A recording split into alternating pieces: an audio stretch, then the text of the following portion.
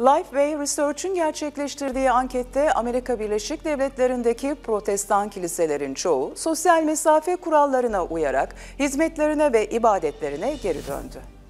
Lifeway Research tarafından 20-22 Temmuz tarihleri arasında gerçekleştirilen ankete göre Amerika Birleşik Devletleri'ndeki protestan kiliselerin çoğu yüz yüze kilise hizmetlerine geri döndü. Kiliseler koronavirüs salgınıyla mücadele ederek bazı koltukları kapatarak sosyal mesafe kurallarına dikkat ediyor.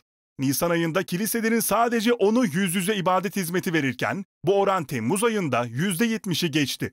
Anketin diğer sonuçlarına göre kiliselerin %94'ü el dezenfektanı, maske veya eldiven temin ediyor. %86'sı yüzey temizliğini gerçekleştiriyor.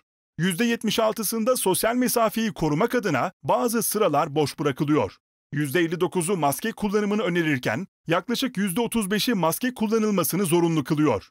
Araştırmaya göre kiliselerin %21'i salgın döneminde arabayla hizmet verdi.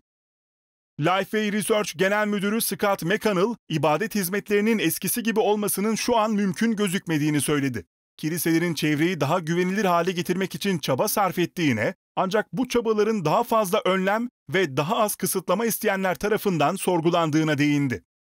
Kiliselerin çoğu yüz yüze hizmetlerini gerçekleştirmekle beraber sadece %29'u kutsal kitap çalışmaları düzenliyor. %13'ü ise çocuklara yönelik hizmetlerine devam ediyor. McConnell çocuklara ve gençlere yönelik hizmetin bu şartlar altında oldukça zor olduğunu ve hizmet veren bazı gönüllülerin yüksek riskli gruptan olmasının işleri daha da karmaşık hale getirdiğini söyledi.